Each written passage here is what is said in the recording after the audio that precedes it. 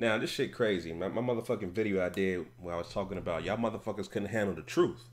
Y'all LDBC motherfuckers and you know hardcore Wilder fans couldn't handle the truth about how Deontay Wilder was being managed or mismanaged throughout his 11 year career. I was saying the motherfucker should be a mega superstar. He's not a fucking mega superstar right now. As a matter of fact, he hasn't broken no pay per view records, like I said. Um, he has not sold out no arenas, and he should be doing that. That's the point of that video. And y'all motherfuckers couldn't understand and listen to that shit. Y'all couldn't take the truth. You don't know what you're talking about, man. Come on, how the fuck I don't know what I'm talking about? Y'all motherfuckers crazy. I'm spitting out raw facts. My channel is about facts, common sense, right? I display all of that shit. And y'all motherfuckers talking about I don't know what I'm talking about. Uh, you shouldn't you shouldn't trust uh, you know what what what you're hearing and stuff like that. And my point of this shit is the fact that Deontay Wilder should be in position right now where he I was saying last night on my live stream, he should be undisputed champion of the world right now. When was the last time we had a U.S. Uh, uh, uh, an American black heavyweight champion of the world that has been undisputed. When was the last time that happened? It hasn't been recent. It hasn't been 10 years. It's been a long ass motherfucking time. And he should be doing that right now. So now that belt that Andy Ruiz took, where it's the upset, you know, my last video I said is upset of the century. That's a troll. That was a that was a clickbait title, you know, but it was the upset of the, of the last 10 years, I would say. Um, point is, is that Deontay Wilder, right now, till this day, as he says right here, hashtag till this day, he should be undisputed champion of the world. Okay? Doesn't matter about who's the A side or whatever the case may be. Hey, listen, man. Mayweather, when, when Mayweather fought Oscar De La Hoya, Mayweather, Mayweather was like, listen, I'm going to beat your ass. All right. I don't care what you pay me. I don't care where we fight. I don't care what kind of gloves we have. I'm going to beat your ass. And when I beat your ass, I'm going to become a mega superstar. I'm every every fight after that is going to be on pay per view. I'm gonna be, I'm gonna be breaking numbers.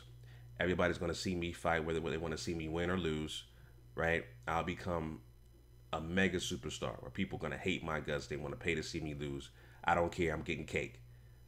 That's the kind of mentality that Deontay Wilder should have had, or at least he should have been coached by Al Haymon to say, listen, take a loss, take a pay cut, accept whatever money they, they give you, knock his ass out. Main goal is to become one champion, one face, one name, as Deontay Wilder says he lost that opportunity. So I'm more upset the fact that that should have been Deontay Wilder doing that shit today, right now, not Andy Ruiz. Andy Ruiz should have been the one to knocking this motherfucker out. I'm, I'm sorry, Deontay Wilder should have been the one knocking this motherfucker out and becoming undisputed champion of the world. You know what I'm saying? So now they got a now they got an immediate rematch clause, and we'll see what happens when they fight later this year, November, December, sometime. Other thing is that you know, according to credible sources, NY Post, okay, NY Post says this that um, Ruiz, a massive 25 to 1 underdog in some books, dropped Joshua four times in the bout before referee Mike Griffin stopped the fight at 127 of the seventh round in front of a sold out and shocked crowd. So Madison Square Garden was sold out, which is a capacity of 18,200 people. When Deontay Wilder fought Dominic Breazeale, he sold 13,181 tickets. Why the fuck did that happen? Why? Why the fuck would this motherfucker from the UK come over here in the US and outs and outsell Deontay Wilder, who's been a pro for 11 fucking years? Why why the fuck did that happen? Why why Al Haymon? Why Shelly Finkel? Why did that happen? Why? And why wasn't the fight on pay per view? Again, he's been mismanaged, man. He should be champion. He should be a mega superstar. He should be the highest paid boxer or athlete right now, today, and he's not. That's the motherfucking truth that y'all motherfuckers don't want to hear. Straight the fuck up. Y'all niggas don't want to motherfucking hear the motherfucking truth. So I don't know what to tell y'all motherfuckers, man. So we, we'll, we'll see what happens, man. As far as Deontay, as far as uh Wilder, as you guys y'all see here, Wilder says he wasn't a true champion. His whole career was consisted of lies, contradictions, and gifts, facts, and now we know who's running from who. Okay, well if that's the case, Wilder, why didn't you fight him? Why didn't you fight him today or yesterday? Why you should have been the one knocking his ass out, motherfucker. Just like I posted here. You should have been the one to knock his ass out and keep the titles in the US. Now they in Mexico. You should have been one doing that shit. So your career has been mismanaged. You have been uh, you have been coddled your whole career. It's it's time to just let loose. It's time to say fuck whatever advice Al Haymon's giving me, fuck whatever advice Shelly Finkel, JD's, Lou DiBella, Stephen Espinoza giving me.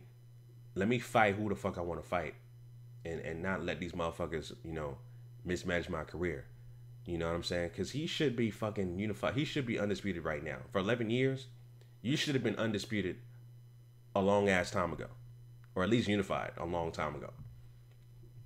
You know what I'm saying? It's, it's time, man. It's time. So, the heavyweight division is uh, one punch can change everything, man. That's what happened last night. One punch changed everything. You know what I'm saying? So, it's gonna be crazy. Um, man. you know, everybody waking up the next day like, oh my God, Anthony Joshua is not the unified champion. He got knocked out. He got knocked the fuck out. So, yeah, man, just wanted to do a quick video on this shit. Um, leave your comments down below, family. Let me know what you guys think. Let me see. It could have been Ortiz too. Ortiz turned down seven million dollars to fight motherfucking uh, Joshua on short notice. Ortiz could have been a unified champion. Ortiz is mad. I know Ortiz and Wilder are fucking mad. The only motherfucker from the PBC that they let across the street was Ruiz. So, and, and I saw I saw Jarrell Miller last night on, on Instagram. He was mad. He was just posting himself in a video like this. He was like this. That could have been him if you didn't take the motherfucking drugs. So now that you know AJ is a normal ass fighter that don't that don't move his head, he can easily be countered. Right? A motherfucker that don't move his head. And um now he's food. Now he's food. Okay? But it's too late now because Ruiz has another opportunity to fight him. Now he got to defend his belts. And y'all should have been the ones to knock his ass out, not motherfucking Ruiz. Wilder, Ortiz, y'all motherfuckers lost your opportunity to become undisputed. But it is what it is. Those are my quick thoughts. Y'all leave your comments down below. Let me know what you guys think. Until next time, make sure you follow me on Instagram at GMOG Media TV. Until next time, Chauncey signing out.